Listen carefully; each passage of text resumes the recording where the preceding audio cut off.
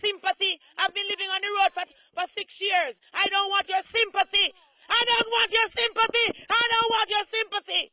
You are seeking political leverage and self-exaltation of my situation. In better days, Olivia McKoy, who represented the nation at two Olympic Games in javelin and discus, brought pride to this country.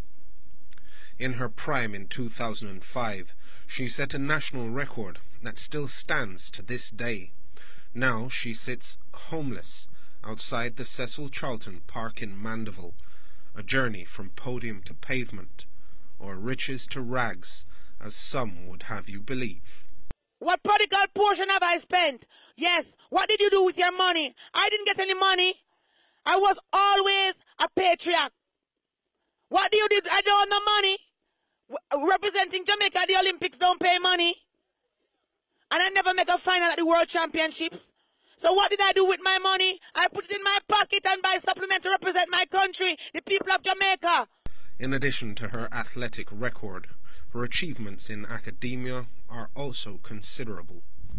I'm 43 years old. I graduated from St. Jago High School. I graduated from Northern Caribbean University, NCU, and I graduated from Louisiana Tech University, Ruston, Louisiana, in the United States of America. My last study was in industrial organizational psychology. I was doing a, mas- a master of business administration. My bachelor's is in business administration, and I have an associate's degree in business administration.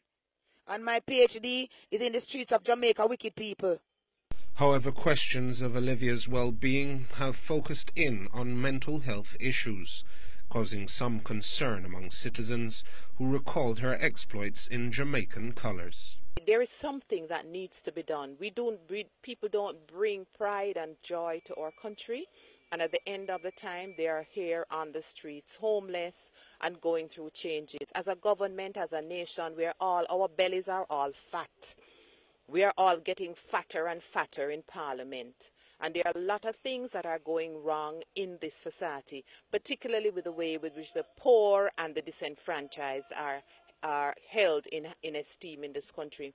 Adamant that sympathy is not what she needs, McKoy instead hopes to provide some insight into the plight of athletes who find themselves homeless, should she be allowed to hold audience with the sports minister Olivia Grange. On a serious note, no, I'm not I'm not joking. Something needs to be done.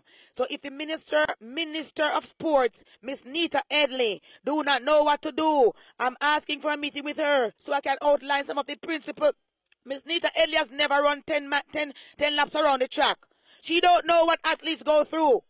Joel Crosskill, CVM News.